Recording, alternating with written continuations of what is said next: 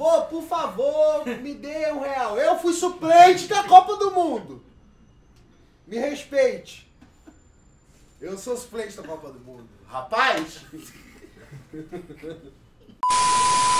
Fala nação nordestina, gol contra na área. Eu sou o Pedrão Eu sou o Tavares. E estamos aqui mais uma vez essa semana para passar um vídeo irado para vocês. Hoje uma lista um pouco diferente.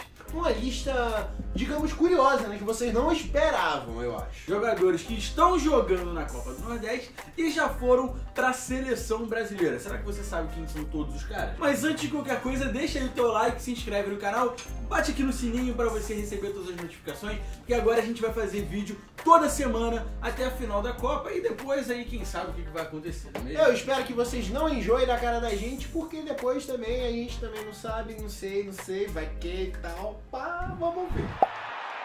2008 é o ano Hum, e esse rapaz foi convocado para um amistoso contra a Itália. quem seria esse? ele já não é mais tão rapaz assim. né? Hoje em dia Ele não. não é mais tão Hoje em rapaz dia assim. com certeza não. Mas Léo Moura, que está jogando no Botafogo da Paraíba, foi pra seleção e jogou contra a Itália em 2008. Léo Moura que jogou muita bola no Flamengo, é ídolo do Flamengo, ganhou a Copa do Brasil pelo Flamengo, Ganhou Libertadores pelo Grêmio. pelo Grêmio. É verdade. Ele ganhou pelo Pô, Grêmio. o Léo Moura tem um currículo invejável, né? Em 2008 ele teve a chancezinha dele na seleção, porém não foi uma chance muito duradoura, ele só teve uma convocação. Próximo nome é. Alguns conhecem como o cara mais bonito do Brasil. É. É um cara apresentável, né? E, pô, presença, como a gente fala, o cara é presença. Rafael Sobis foi convocado, sabe pra quê, Pedrão? Hum. Em 2006, logo depois da Copa do Mundo, ele foi convocado para um amistoso contra a Argentina, mas ele teve uma carreirinha um pouco maior na seleção. Chegou É, a é. jogar nove jogos. Jogou alguns jogos pela seleção. Isso, eu tenho, isso aí eu tenho conhecimento. Você acha ele bonito? Ah, bonito ele é, pô, tem umas tatuagens no pescoço. Já, claramente é um cara que gosta de rock. Rock, Ele é gosta de rock, ele é roqueiro, assim, não é um roqueiro jogador padrão. E ele tem um golzinho pela seleção. Então é isso, vamos pro próximo. O próximo da lista, ele gigante, veio pro tricolor de aço também, gigante. Exatamente. Não é mesmo? Rodriguinho, em 2017, jogou um amistoso aí com a seleção contra a Argentina. Convocado, sabe por quem? Convocado por quem? Pelo Titiola. Por ele mesmo. Foi E não só convocado por ele, né? Ah. Nessa, nessa Guedes Guedes aí, Nesse jogar amistoso, foi também chamado como suplente para a Copa do Mundo de 2018, que era uma informação que até então eu não sabia, tá? É. Eu admito que não sabia, não lembrava dessa informação, porque a gente fica focado ali no plantel principal. Exatamente. Mas os três suplentes foram ele, Luan e Rodrigo Caio, mas pô, já imaginou você ser suplente de uma Copa do Mundo? É um bagulho que eu falaria pros meus filhos. Fui suplente Eu- da Copa do Mundo. Parece cargo político. E ele no auge dos seus 57 anos, um garoto, não é mesmo? É, um garoto. Garotinho. um garoto. Garotinho que fez muito sucesso no Brasil em vários clubes. Fernando Praz. Aí vocês vão falar, ah, Go Contras. Go Contras, vocês estão viajando. Ele nunca foi pro seleção. Em 2016, ele foi convocado na seleção olímpica, né? E aí ele foi Na época ele tinha já 51. Ele foi como um dos jogadores aí que acima da idade olímpica, Acima né? dos pra- 23, é, obviamente. É, obviamente, que ele já tinha mais de 23 anos, todo mundo sabe. E é, foi um desses jogadores. Aí puxando já a sardinha aqui da seleção olímpica ainda, Ah, o Zeca, que ele jogou Santos, jogou Internacional, também fazia parte. E hoje ele tá jogando a Copa do Nordeste.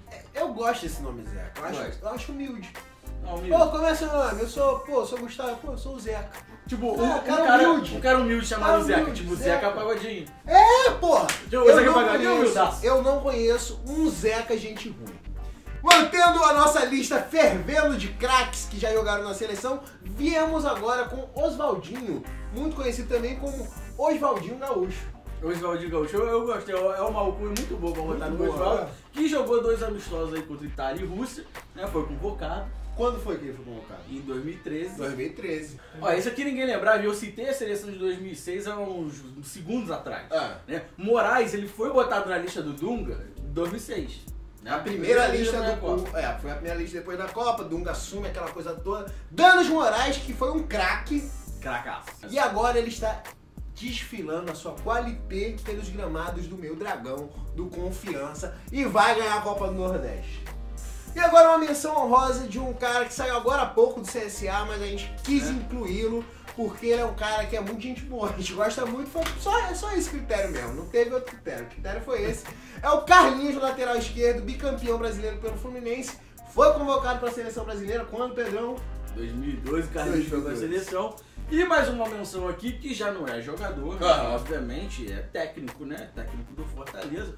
Eu vou botar na lista também Rogério Ceni. Você que manda, Ceni você quer botar, Foi campeão botar. do mundo em 2002, inclusive, E pela seleção, porque tava no plantel. Sim, Né? sim, pô, tá no plantel é campeão do mundo, não tem essa. E tem uma história longa na seleção, foi, foi, foi convocado a primeira vez em 97, tem 18 jogos disputados, tem uma historinha na Tem uma seleção. historinha. Então, quer dizer que não só técnicos, não só jogadores, mas como também técnicos estão na lista. Esse era o último da lista. Queria agradecer a vocês por estarem com a gente nesse momento maravilhoso.